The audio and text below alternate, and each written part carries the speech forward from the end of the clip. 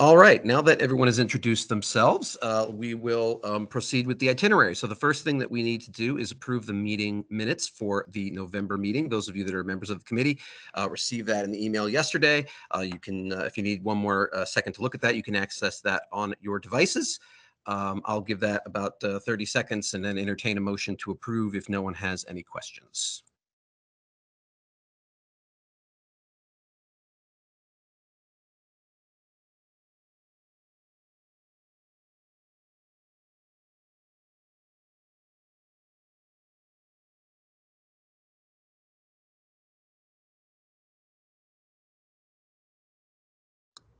Yeah, I'll put forward a motion. These look good.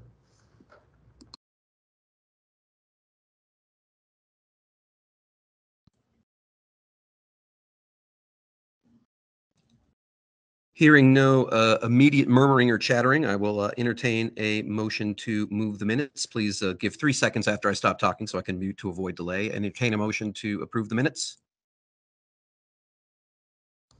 Uh, sorry, Bryce. I put one. I said uh, we could. I would entertain a motion, but I guess it didn't come through the first time.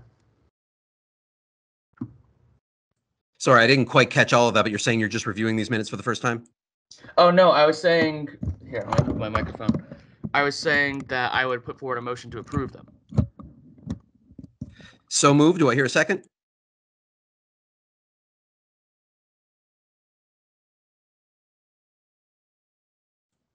Aye. Um, who was that? That- Was that Paula that seconded? Yes. All right, all those in favor of approving the minutes as posted? Aye. Aye. Raise your hand.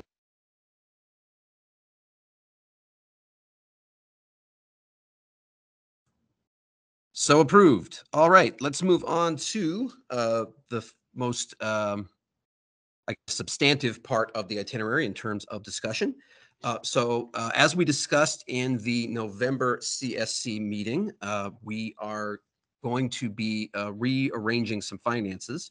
Uh, the upon uh, legal advice, the Student Activity Fee Committee uh, funded the operations of student media for the fiscal year 2022. That's ending June 30th, uh, but did not fund any stipended positions as per that recommendation.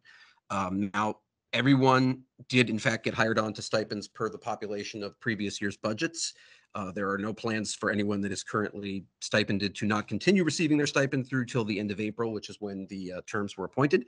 Um, so there's no concern on that front. What we do need to do is uh, consider uh, where we can um, both allocate those costs in terms of coming out of um, a funding source outside of the uh, the student activity allocation, since that's not adequate enough to cover it and we can't use it anyway, uh, and also um, how we can reduce expenses in some other areas. Uh, so we do have some ideas uh, to propose in that area, some of which I have discussed with the individual leaders one to one. Uh, but before uh, we go over those ideas, I'm happy to open up the floor uh, to anybody else who wants to immediately put forth any suggestions or ask any questions uh, as far as this matter is concerned.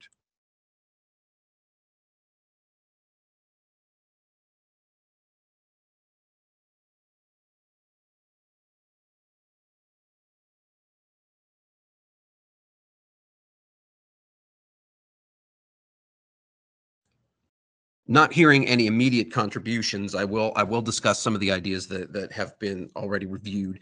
Um, in terms of dealing with some of our operating expenses that exist outside of the um, the realm of um, of stipends, uh, the signal printing budget, for example, is is uh, running significantly under this year. Obviously, there's a number of reasons why that is. Uh, so we do believe that the signal budget, which uh, signal printing budget, which is a uh, what we would call an off-the-top budget informally, uh, which is uh, approved prior to any approval of the, the student activity fee committee, that we could save uh, a five-figure amount in that budget, up to twenty-five thousand dollars, without really disrupting any operations, because we just simply aren't printing the number of copies that we would need to out of that budget. Um, another um, step that's already in process is to reduce the general cost of some of the uh, programs that are already in action. Um, we just recently received a signed a copy of a contract to do RASFest. Uh, that's not signed on our end. I should uh, clarify that's signed on the venue's end, uh, so I won't publicize that just yet. Um, but the entire operation of that event would be done at a fairly significantly reduced budget. Um, the students that are in charge of programming that are already aware of that budget, so this is not going to come as a particularly surprise to them.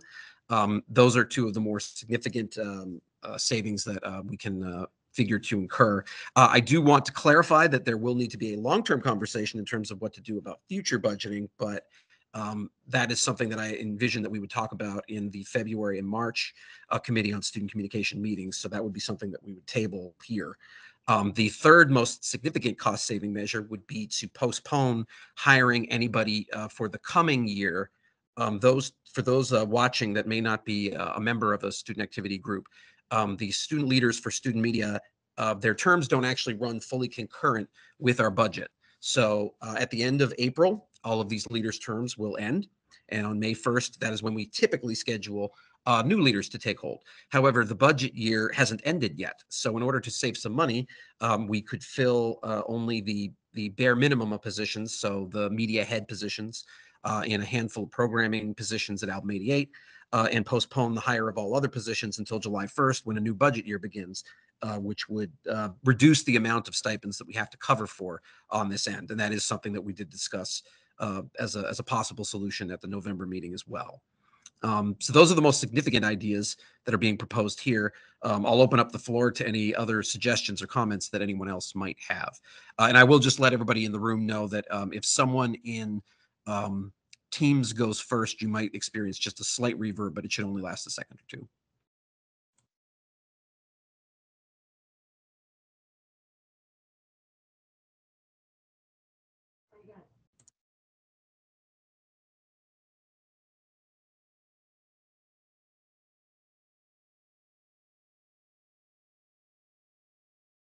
Oh gosh, I that's actually very important. I'm sorry, I almost left out. I left out one very important part of, of one detail, and Gail was very good to stay on me about that. There is one other additional factor there and one other opportunity that does present itself. Um, the specific legal edict, as was um, uh, recommended to the SAFC, was positions as uh, creative or editorial input uh, is concerned. So there are a handful of positions that we have flagged as potentially non-editorial. Uh, examples being um, copy editors, um, webmasters that um, the SAFC, um, per their legal advice, would be open to funding. They haven't. I need to clarify that they have not funded them. They would be open to that. That would require making a request to them during the mid-year allocation process. Um, if anybody has any questions about that, I, I am completely deferring to Michael on that, who's thankfully nodding his head uh, because uh, I- he's more familiar with the mechanics of how that works. Uh, if the student activity fee committee is um, uh, runs ahead of budget, which is to say that uh, you know we've we've given out our money and it turns out that we we have more money than we gave out, so we need to figure out what to do with this money. All student groups, not just student media, but all student groups can uh, take it upon themselves to say uh, these are some things we'd like to fund. So that opportunity does present itself. Um, I'll open again the floor up to any suggestions or questions. Um, if anybody would, would like uh, Michael to clarify how that process works, uh, Gail will uh, mosey on over to him so he can do that.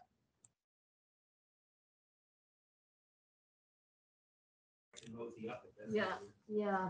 Oh, sure. Oh, is my Yeah. mic not working? No, I just want to join yours. It's just simpler, I think. Um, sure, absolutely. Let me Hello. put my mask on. Um, so, uh, just to add to the note in terms of content influencing versus non-content influencing, Bryce gave a couple of examples, things that, that don't have an impact or influence in terms of what gets put in the paper. So somebody who's putting the newspapers on the rack, a distribution person, they're not affecting what's going in that publication. So that would be an example of a non-content influencing role, which is eligible to seek funding for student activity fees, and then they can evaluate how that allocation is made. But um, there is a bit, there is a distinct difference in terms of, uh, and Michael's going to talk about the why, um, in terms of why there is a difference between content influencers and non-content influencers. With that, Michael, take it away. Sure, okay. And of course, as all good people in the media know, um, in the United States of America, you enjoy some freedoms as a result of the First Amendment of the US Constitution, specifically um, looking at um, some of the clauses related to um, what the, the state, the government can and cannot do. as a public university, Georgia State University is the state.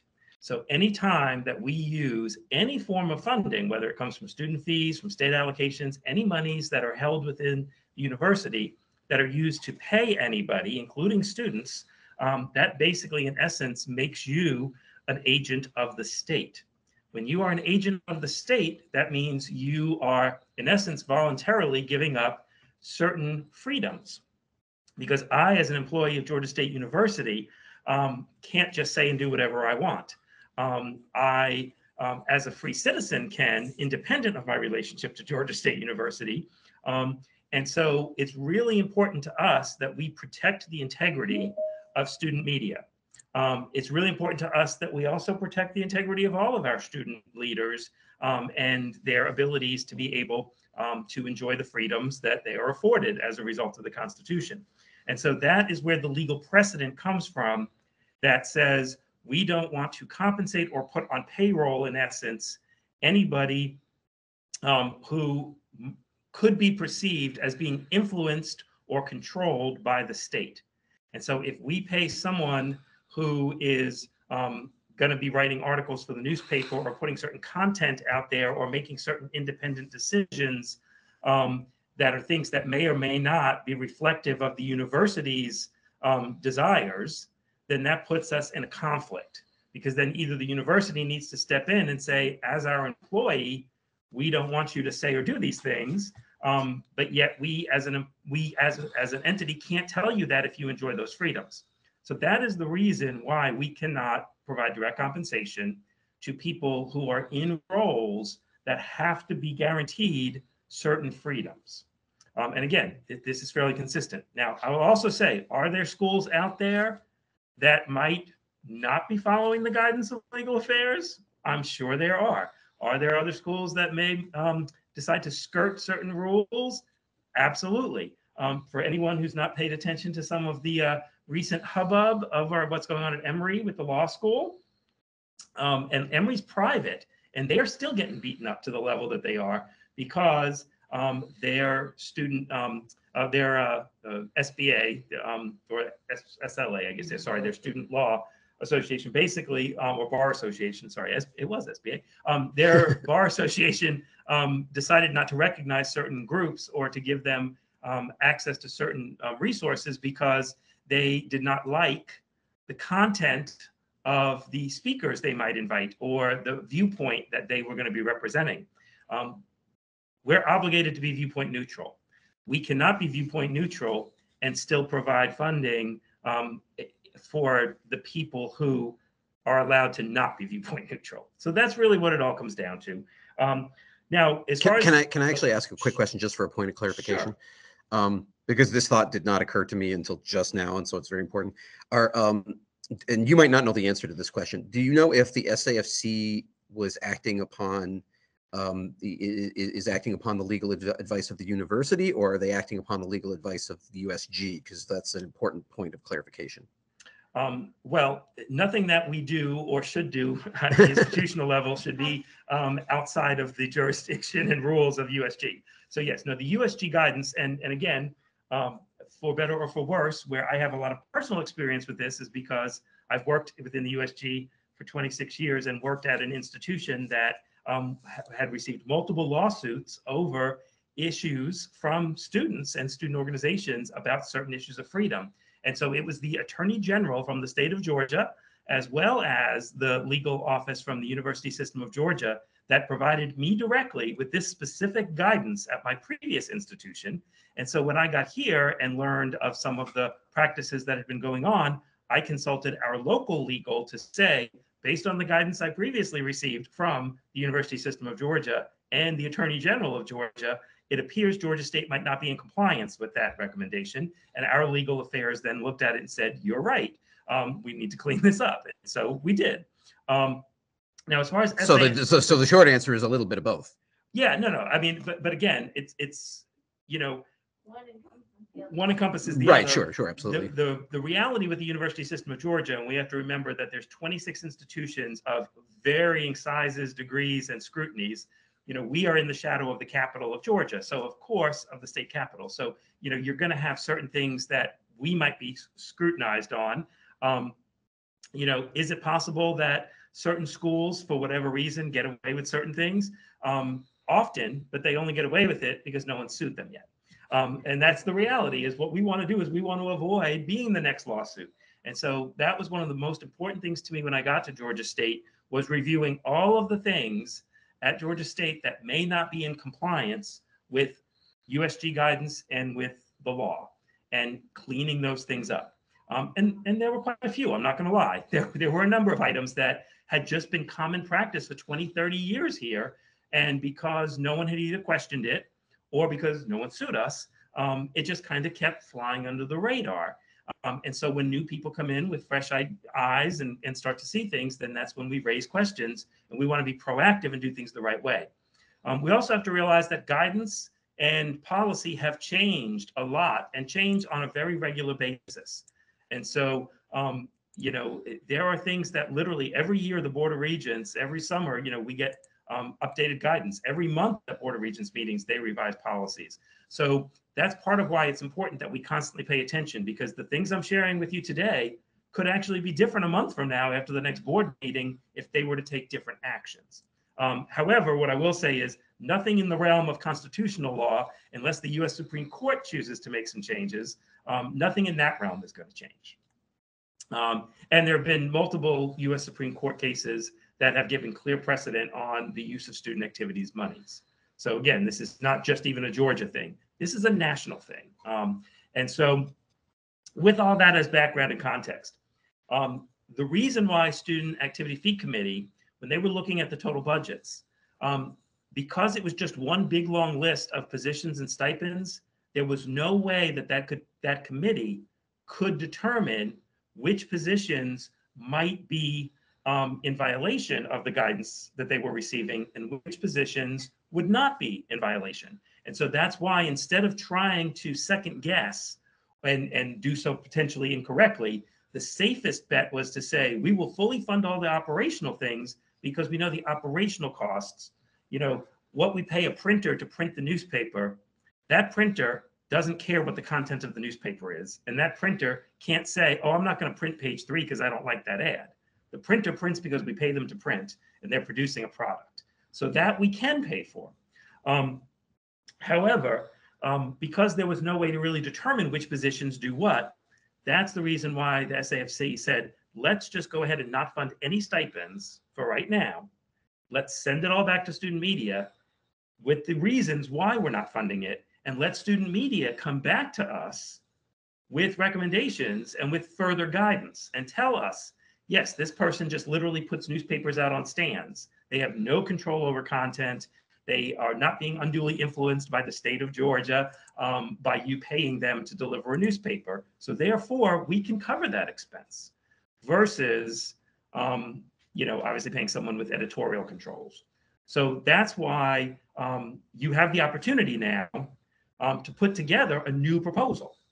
You can say, we've reviewed all of our positions and based on the guidance, these positions are in no conflict whatsoever, and therefore we would like to compensate them. And of course, the compensation has to be, you know, reasonable and appropriate and all of that. And then SAFC will look at the resources they have available. Um, we are working at doing a mid-year review. Our goal is to get information out by the end of January on the mid-year review so we can act quickly to get funds in February as early as possible out to all the student organizations that might be getting additional funding. Um, part of that review, any group that asks for new monies, we will also be doing a review of their already received monies just to make sure that the monies have been expended in the manner in which they were allocated and to make sure that um, there's not, you know, excessive needs that can't be repurposed.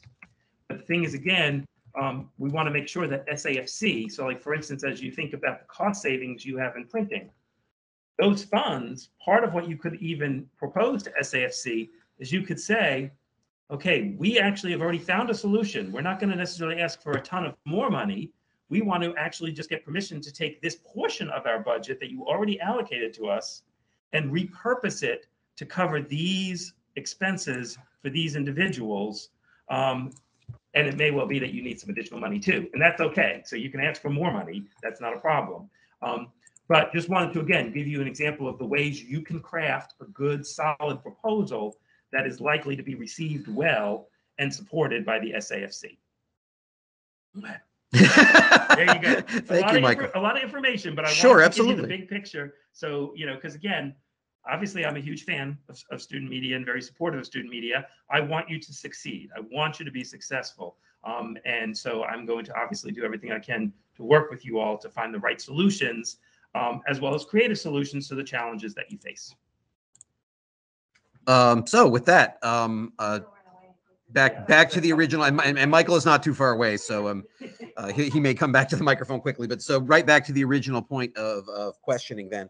Um, opening the floor up to any suggestions. And again, there is a longer term conversation in terms of, of shaping future budgets that is uh, going to happen in not just future CSC meetings, but also in one-on-one meetings that I have with all of the leaders, uh, the ones in the room and that one's not in the room. Uh, so uh, this is not a, a discussion about what do we do for next year and the year after that. That's a conversation that's going to go for a long time. Uh, but this is more of a this year. What expenses do we potentially think that uh, we can reduce or ca- um, cut? What expenses do we think that we could reasonably be in a position to ask for as a mid-year allocation request? No guarantee we would receive it, but we can certainly ask for it. Um, are there any positions that we believe are non-editorial that we're missing? uh, and uh, any other suggestions, thoughts, questions that uh, anybody might have. So again, I'll um, I'll open the floor up on that front.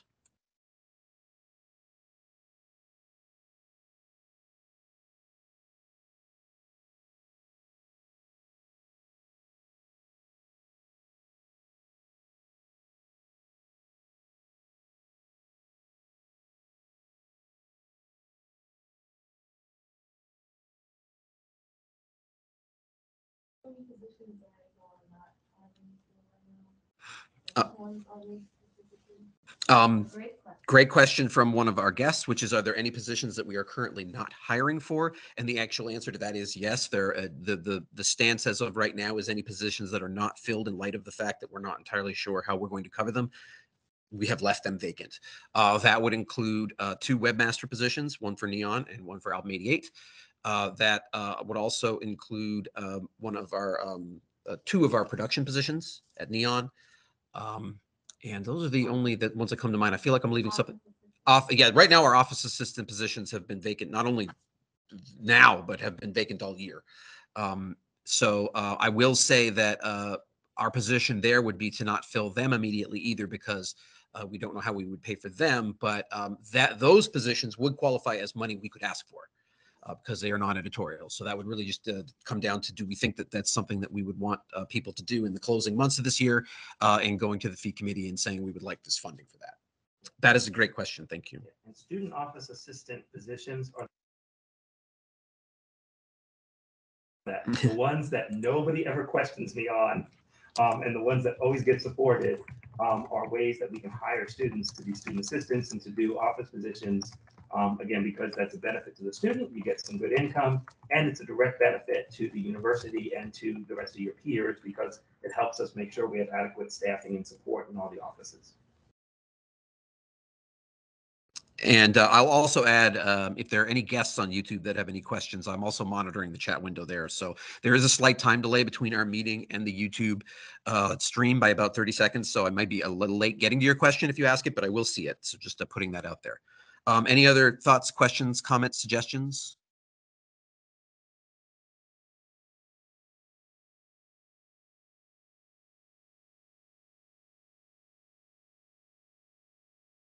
Hey Bryce. So in, Hello. in term of um I know we talked about this previously, just want a reminder though. For the printing budget for the signal, is that like a budget that we can't touch for anything other than printing? Um, we can request permission to use it on other things. There's no guarantee that we would receive that permission, but there is an historical precedent, uh, precedent, excuse me, uh, for that request having been made before. In the year 2013, um, the Signal came under budget on their printing and requested that the surplus be used uh, for essentially a, a supply request, which was to replace the computers, and that re- that request was granted. So um, the short answer is we can certainly ask. Would it be able to be turned back around into the wages of students that work for the signal or is that a no?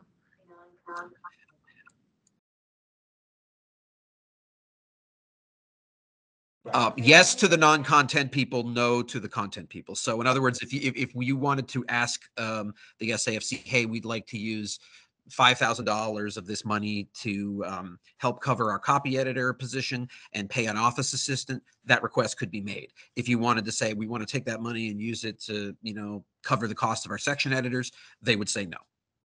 Okay. Because I think where there's a lot of waste, at least in the signal department, is the printing area. Because, you know, the signal office is filled with uh, prints of papers.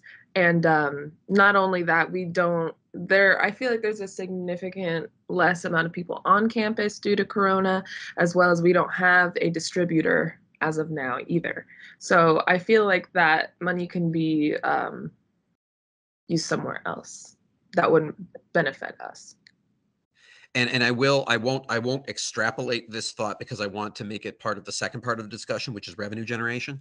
But I, I think that, that that a future point of discussion would be is is a request for uh, more funding in the future for marketing and distribution positions, such to amp up awareness of the signal so that it can be in a position to create greater revenue, is something we can certainly explore. But um, yeah, I completely co-sign on all of the observations you just made. okay, great. I believe Joseph raised his hand. No, he didn't. Okay, sorry. Uh, any any other comments, questions, thoughts, concerns?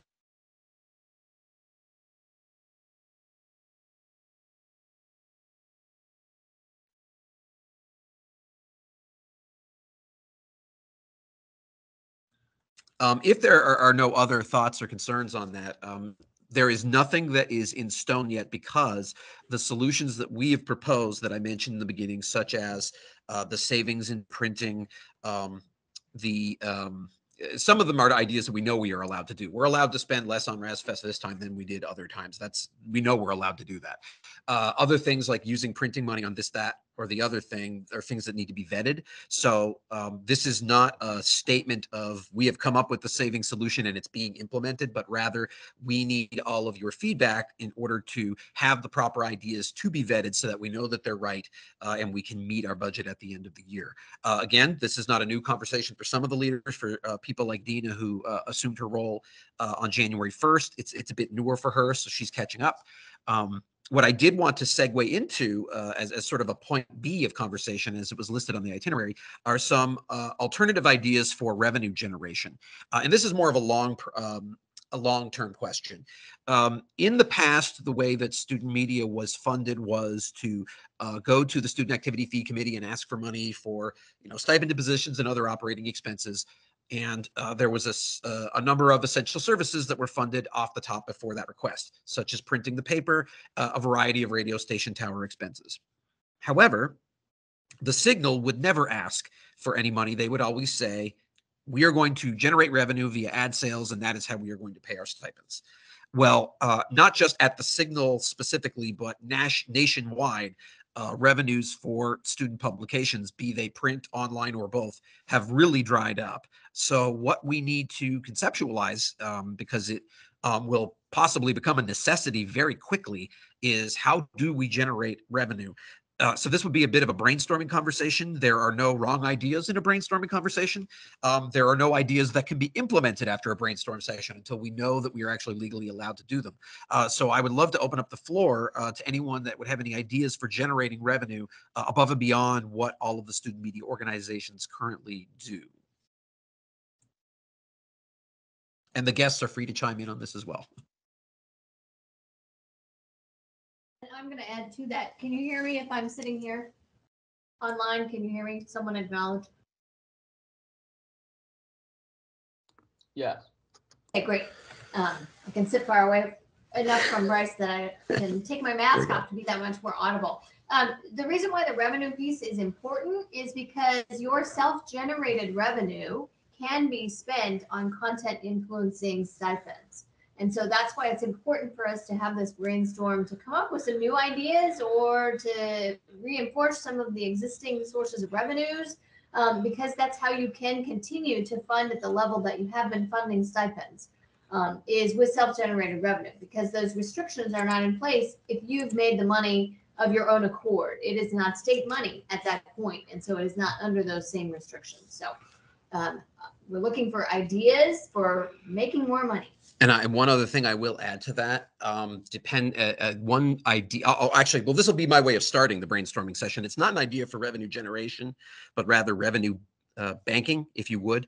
Uh, I think one idea that we might want to explore is having one central um, revenue account for all of student media in which um, because it is all revenue, it is therefore capable of being carried forward into future years in an event that I'll fully admit would be unlikely in the present, but who knows what the future might bring. If there was a year where we came up with all sorts of wonderful revenue generating ideas and all of a sudden we realize we've got more money than we know what to do with, the good news about revenue accounts is that they are uh, legally allowed to be carried forward and you don't have to rush your decision.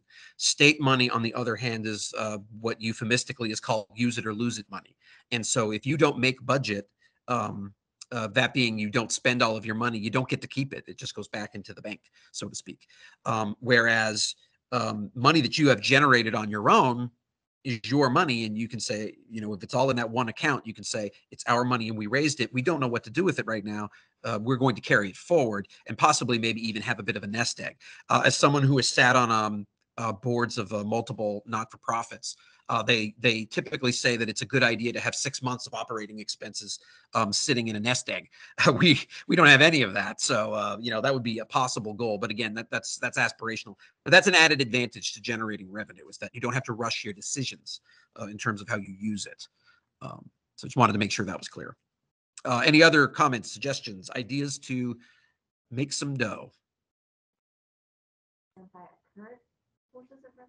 Um, sure. Uh, Gail's asking identifying current sources of revenue. Um, the university um, receives annually uh, $100,000 from Georgia Public Broadcasting as part of its agreement on uh, timeshare on WRAS. Uh, that money is deposited into a student media account. Uh, there is, of course, whatever money the signal can generate in terms of um, ad revenue, which admittedly is uh, not a lot these days, not just again for the signal, but a lot of uh, college newspapers across the country. But that is uh, another avenue. Uh, New South does generate revenue uh, as an aspirational way to offset costs for what are essentially um, contest opportunities. So New South runs an annual contest uh, that is open to the public, that being the the larger public, the national and even international public. Um, and it funds it via raising revenue through subscription fees and contest entry fees. Um, occasionally, when they do very well, that does lead to a surplus. Um, as of now, it is not deposited into a revenue specific account. It is posited into the New South account. And sometimes that creates some logistical difficulties. Uh, when New South does very well and it makes more money than it intended, um, it sometimes has to rush its decision about what to do with that money, which really isn't the way it should be. Um, but that is another way that revenue is raised. Uh, right now, um, and, and then the last thing I will add is that RASFest, though it is not necessarily uh, intended uh, in its current phase as a fundraiser per se, um, as it sometimes operates as a, at a loss, you know, through no worry or intention, um, does bring in revenue. People do uh, attendance is charged for the RASFest event. Sorry. Power. Oh yes, yes, right. Very important. Um, the tower maintenance account for the radio station um, is a uh, designed to be a revenue neutral account where money is taken in from outside vendors who pay for uh, shared use of that tower, whereas the university pays rental fees. And the idea is that what we are receiving from our co-tenants will help to offset that expense. So we do receive money, for example, from T-Mobile um, for shared use of a particular tower.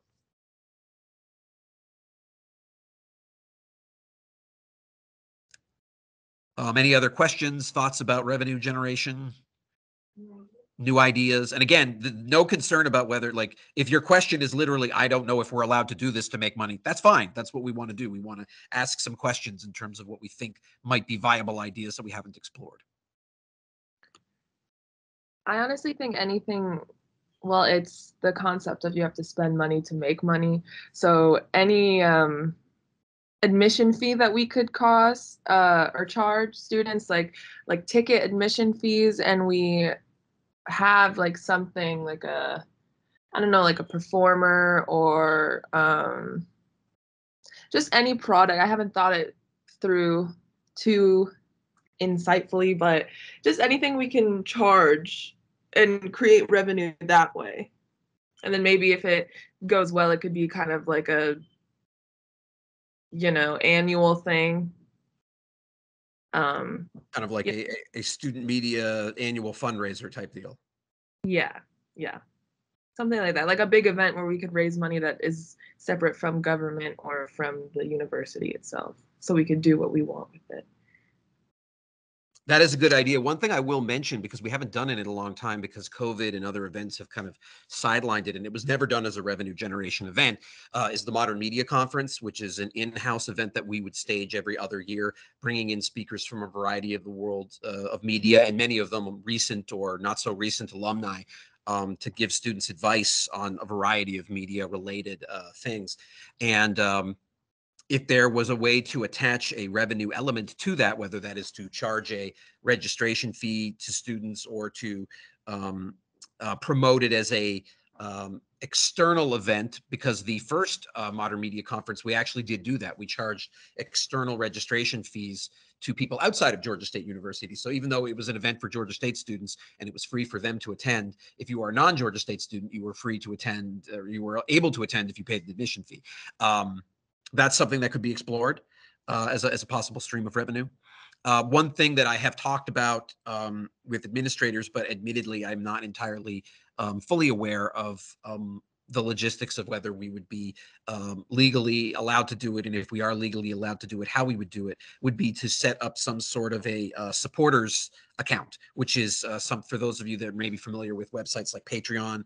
Um, uh, there are a lot of um, non-conventional media, for example, that are supported in this manner, where you're essentially a monthly subscriber and you pay an optional fee. You can support for as little or as much as you want, and there are levels. And if you're a tier one supporter, uh, you know, you know, thank you for your support, and you get a you know tax letter. If you're a tier two supporter, we'll throw you a T-shirt, whatever the case might be.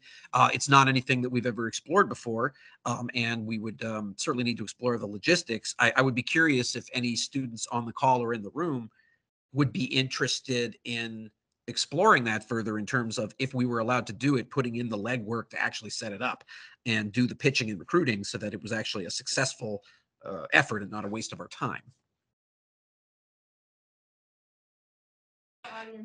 Jo- Joseph seems to be uh, somewhat enthusiastic about the idea, uh, as as our guests are as well. Okay. Um, uh, the, the room seems to think that's an interesting idea worth exploring. Uh, and it might be something that it could become almost a position that, again, because it would be content neutral, could be something that you could request support for.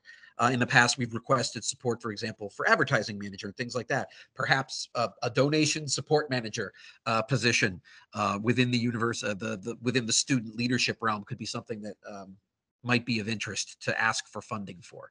Um, and possibly maybe one of our guests in the room would want to apply for that job if it came You open. can always ask, you might not always get. But I was about to say, there's no guarantee it would be funded, but we can ask. Uh, that's a that's a thought. Uh, any other ideas, suggestions?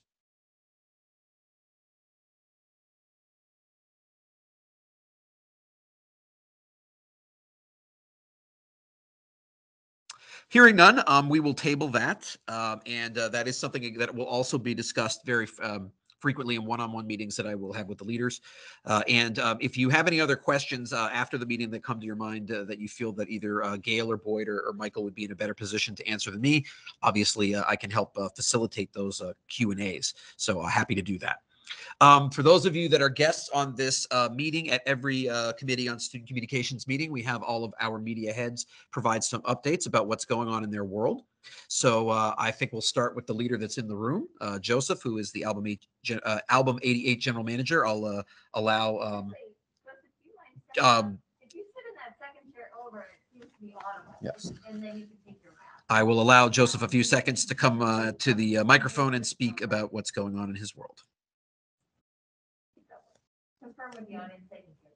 Oh yeah, and and when Joseph uh, Joseph's just going to ask if you can hear him. So go ahead, Joseph. Hi, can you hear me? Yes. Great. Go ahead. Yeah, so at Album 88, our main thing is trying to get Raz Fe- Fest started, especially since we missed um, 20, 2021 and 2020 for obvious reasons. and, and also getting trying a new form of training in which we have in which our daytime in which for those who don't like the graveyard process process of coming late at night, they have the option of doing it in the day, but having it more focused on the technical aspects of just kind of like the do's and don'ts of being a radio DJ as opposed to our nighttime portion, which is going to be more focused on around for people more interested in music, music and f- focusing more on the music aspects of our station. And also, and also, I think we finally are getting ready. Finally, have like podcasting up and run, up and running. People are getting ready, are starting to like produce content, content, and and we're finally going to be able to have something to upload to our platform. So, so yeah, podcasting is probably like the biggest biggest like achievement, which hopefully hopefully we will have like finally have it like up and fully running this semester. Those are the main things that we've been focusing on. Awesome. Does anybody, uh, do, do any of the guests in the room have any questions about getting involved in the radio station in terms of, of going on air or uh, whatnot? Um, while you have Joseph's attention, that would be the time to ask those questions. Like, what's the process and like, what does the DJ do? So the question uh, was, uh, what is the process for applying and what exactly does a DJ do? Joseph, take it away. Okay, so the application is on pin.gsu, it's a Panther Involvement Net Network, it's at pin.gsu.edu. You know, we do have various OSC application windows open. I've been talking with with the other members of management of when we should reopen it. It's still kind of up for debate. Still kind of up for debate because we're just focusing on a lot of different things at once. And I will, I will add as a thought to that, we had a very, very, very robust application window in the fall that was almost uh, i don't want to ever say it's too robust that's that's not really true but it was so robust that we're still in the process of trying to get some of these people onboarded. Uh, typically what we would do in the past maybe four or five years is we would open up two windows a semester our own our first window was so successful we had i think uh, eventually we had 123 applicants total. I might be off by a person or two. And it was like whoa that's a lot of people. We weren't expecting it to be that much. And so we never did open up a second one. We um, we kind of you know worked on processing who we have. Uh, that being said it is absolutely certain that that we will open another one this year. It's really just a matter of joseph and his team deciding when that would be and when they're capable of doing it. Uh, in light of uh, the team that they have now and then you can go ahead and add anything you want to there joseph yeah, once the plan is once we really get like RASFest really situate situated, then we'll open up the application window. But until then, it is a sort of T uh, TBA. But yeah, so what? So further after. So once the application window, you apply there, you apply there, and then after that, after that, you would have the orientation in which I would read read over our training manual, and then or whoever the current standing GM would be at that time. And then at, and then right after that, you you would have like these uh, sit-in sit-in videos that we had to turn into a video format due to COVID, COVID, in which you would basically watch the videos, which is a, which are basically training videos, and then folk, and then take a couple of quizzes after afterwards. After that, then you would be ready for a for a legal session, and after the legal session, you have to sign some affidavit, affidavits, get a form notarized, and then we can like put you into into like the graveyard training, into the graveyard training or the daytime tra- training. And when it comes to what a DJ does, it's mostly just. I guess it depends on how much interest you have. Have like we have DJs who are specialty show hosts, which they would, which they would basically pick pick their own like specific genre of music to play, and then you also have more of more just regular rotation DJs, DJs who basically like read off read off and play play the music on that we have running at the station here. And uh, one thing I will add as a, as a little tag along to that question, uh, a process that has literally been going on for decades where Alb 88 is concerned is that the final step before going on the air, the affidavit process uh, that Joseph mentioned, uh, was generally an in-person process you would do with the advisor, myself, or whoever my predecessors were. And um, we're a step closer to making that an online quiz process. Right now, the updates to our policy manual that need to be vetted by the university as the license holder are, are in review um, with our legal. Um, we expect that we'll probably get some notes on that in February. And um, no guarantee, of course, how quickly that will track after that, because they may say that all these changes are wonderful and it'll be quick, or they might say there needs to be more changes. So it's, um, but the hope is that by making that process faster, they can onboard DJs faster, which then means they can op- op- open up their windows sooner and bring in more DJs so that we can uh, make the process uh, as efficient as possible.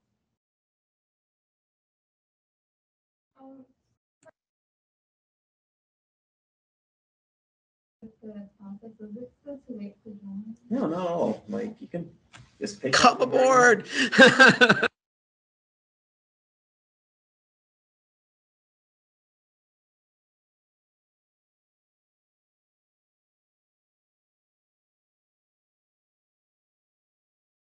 No problem. Um, thank you for the questions. Um, opening the floor up to any of the leaders that are on the call. Um, let's uh, let's move over to Dina. Tell us what's going on with the signal. Hey guys, how are you? Um, so with the signal, not much. So as I took over in January, we we're kind of struggling with having sufficient amount of writers in every section. Specifically, right now, our news section, we're hiring in all sections. FYI, if you guys want to apply or anything, we're always accepting. Um, that's what's going on right now. And then with the new chance uh, changes, we're also reamping our uh, podcast section because we used to do that about two years ago. It was uh, we had a good team with that, and uh, it kind of just fell off. And now we have a lot of people that are interested in um, doing that again, and not only inside the organization but also outside. There have been a lot of people interested in editing the podcasts, creating it, and kind of just starting that team again. So that is something that I will be reopening um, when we kind of get into the swing of things this first few uh, week or two, and then we're going to go into that. But I think that's the only thing that's to update right now. Uh, and- Uh, for those uh, for those of you that uh, would like to know more about um, applying to be a writer at the Signal, um, Dina's email is signaleditor at gmail.com.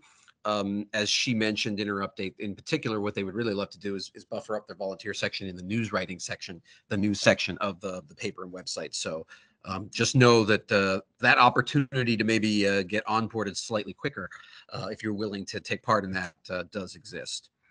And it's also for people that are interested in other aspects outside of writing. We have a marketing team, we have photography, we have graphic design. So, really, anything creative is, uh, we have a place for you here. Thank you, uh, Dina. Uh, we'll uh, move on over to Ash uh, to talk about what is going on with New South. Howdy, y'all. Uh, is my mic sound okay, Bryce? I know I had problems earlier. Yep. Nope, you sound great. Okay, great. Um, hi, this is Ash here. Uh, so at New South, we just put out an issue back in December, like, you know, a week before the semester ended, so it didn't really get a lot of screen time. Um, we usually have a contest at the beginning of the year, but we have delayed that slightly because our contest issue from the previous year hasn't come out yet. Um, but we're working on that now. Uh, I just sent the master file over to our production editor, so we hope we get that done soon. Um, but then we're hoping to get that issue out and then open up the contest again for the next year. Um, but yeah, I think that's all we've done lately. I think it's all from New South.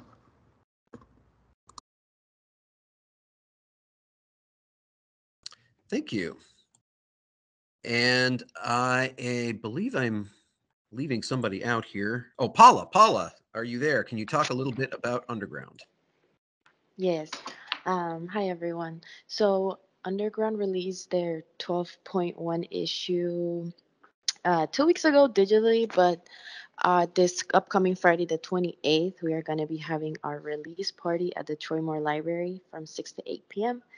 And I invite you all to attend if you can. Uh, we're also going to have an open mic. And if you know anyone that's interested in signing up for it, on our Instagram, there is a link in the story to sign up for that. Um, and then we will be opening up submissions for this semester at the end of next week as well. And we're also looking for new staff members. If you guys know of anyone, um, they can email me at underground.journal at gmail.com. But that's all I have for underground today.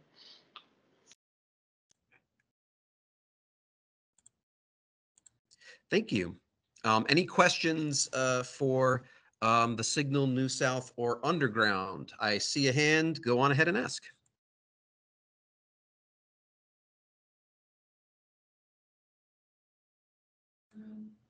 Um, that is a question for Dina from the crowd saying that uh, the student applied in the digital marketing, category and wanted to know when you might hear back.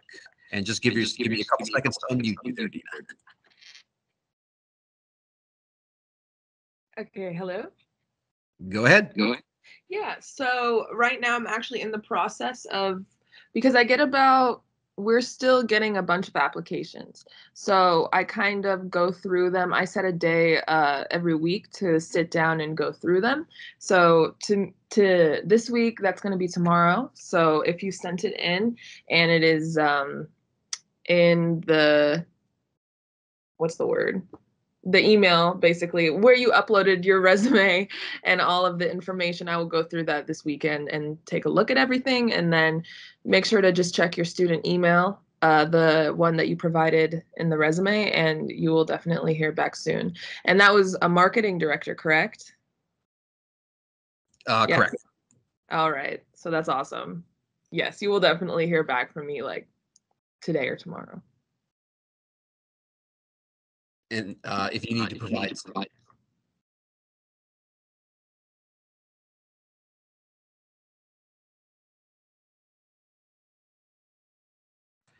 Uh, William Bridges is the general manager for Neon Network. Um, he is not uh, present at this current meeting, so I will just add that uh, anyone that is looking for opportunities to do video news can um, contact um, neon.generalmanager at gmail.com. And uh, the news director for Panther Report um, is Melissa Perez. Um, she will be more than happy to hear from you.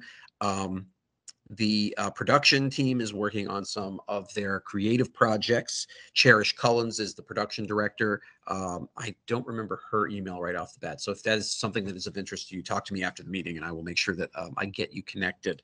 Um, this is actually streaming right now on YouTube via the Panther Report channel. So you can watch this meeting back at the end and also check out some of the news reports that they've done uh, over the past year. Uh, so um, the one of the things they did last year is is uh, an exclusive interview with President Blake that was quite interesting, uh, and some other uh, pieces about various uh, events going on at the Student Center and beyond on campus. Um, are there any uh, orders of business uh, pertaining to campus life that have nothing to do with uh, any of the student media heads? I will add one because I have the card in front of me, uh, which is that uh, midterm elections for student government uh, will be going on. And it looks like the registration deadline for the primary is April 25th. Gail probably knows way more than me, so I will defer to her. Oh, I'm sorry. You know what? I'm lying. It says midterms. Those are for, those are for, okay, that's federally. Never mind. But it's a good thing to know. Uh, registration deadline for the primary for those of you wanting to execute your uh, federal rights to vote, which you you know certainly should uh, employ. That is April 25th, uh, 22. There are these cards that are in the um, student activities office in um, actually what's the exact name of the office, Gail? Student Life. Thank you. Um, in the center of the second floor of Student Center West, or uh, rotunda, if you would. Uh, this is a wonderful, handy dandy reminder of the various deadlines to make sure that you enact your franchise. Um, but I do think that it probably would be important if there is any information about student government. So, uh, Gail, you can speak to that far better than me. So I will let you take the floor on that. Well, interesting you should mention that. We did have a conversation at the SGA University-wide Senate meeting last night um, related to the election commission. The election commission has not yet been selected for SGA. Um, but they are um, working on a recruitment team to come up with a great election commission team to promote a strong election process. Um, so SGA is working on that. They have not set deadlines and a firm timetable. And some of that conversation needs to occur with the signal in terms of what the ideals are for when we might be publishing the election issue um, and some of those kinds of things. So we're still working on those details. We are a little bit behind the eight ball on that um, and need to get things moving, but it is in the hands of Student Government Association, which is a RSO. And so the students are driving the car. Another important thing just to be aware of is there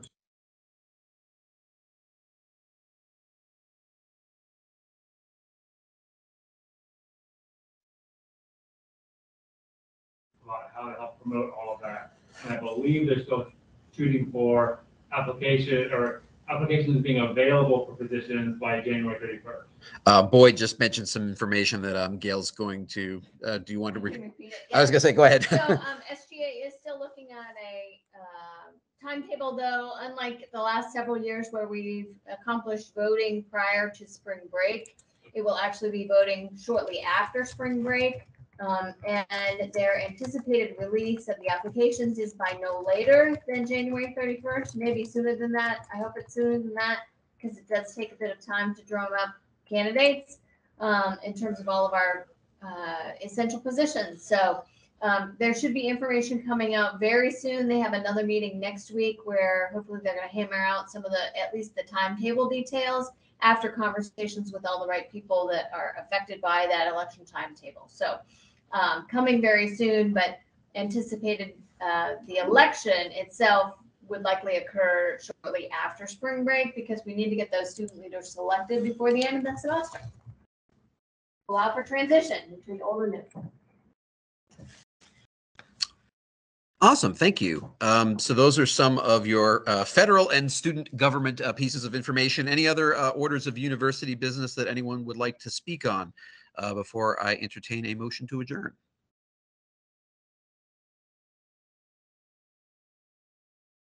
the opportunity. Um, uh, I'm gonna look to Michael on this in terms of student activity fee committee. They have opportunity for new membership in terms of that student evaluation board.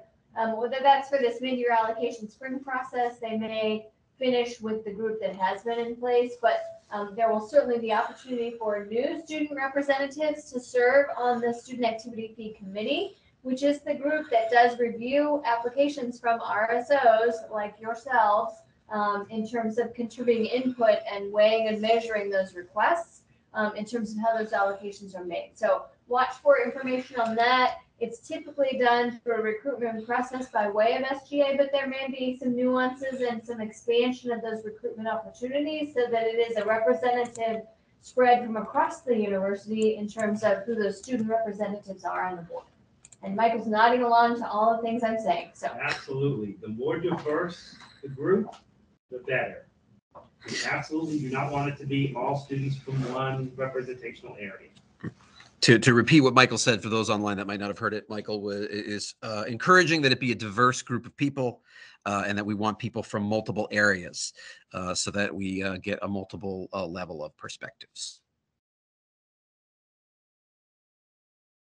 Uh, the only other item that we had on the itinerary that I am going to table uh, in light of the fact that I feel like there's an important voice missing um, is uh, finally putting the uh, final stamp on our new bylaws, which for the most part uh, we are in agreement on. We just haven't officially uh, ratified them. There was a slight language change uh, that Jeannie Barrett had recommended in the last meeting. Um, she's not able to attend today, so I, I think it would probably be best if we make sure that she is uh, present uh, so that we can make sure that we um, have the full and uh, proper understanding of that when we ratify it. Uh, but for those of you that um, are guests, that we do operate under a series of bylaws that uh, we do renew uh, every three years. And so we have um, carefully reviewed them and uh, they are mostly ready to go. Um, we expect we will have those formally ratified uh, in the coming meeting on February 18th. Uh, and that is the next meeting. Um, location to be determined, start time 11 o'clock. Uh, and we will uh, continue to have a long range discussion about some of the budgetary issues that we've talked about here. Uh, so for those of you that are guests that want to know more information about how these conversations have proceeded and how they're going, uh, you can either contact me directly. My office is uh, 404 413 1592 or bmcneil1 at gsu.edu. Uh, or I can give you updates after those meetings to let you know how those conversations have gone. Um, with that, if there's no other orders of business, I will entertain a motion to adjourn. I'll put forward a motion to adjourn. Motion from Ash to adjourn.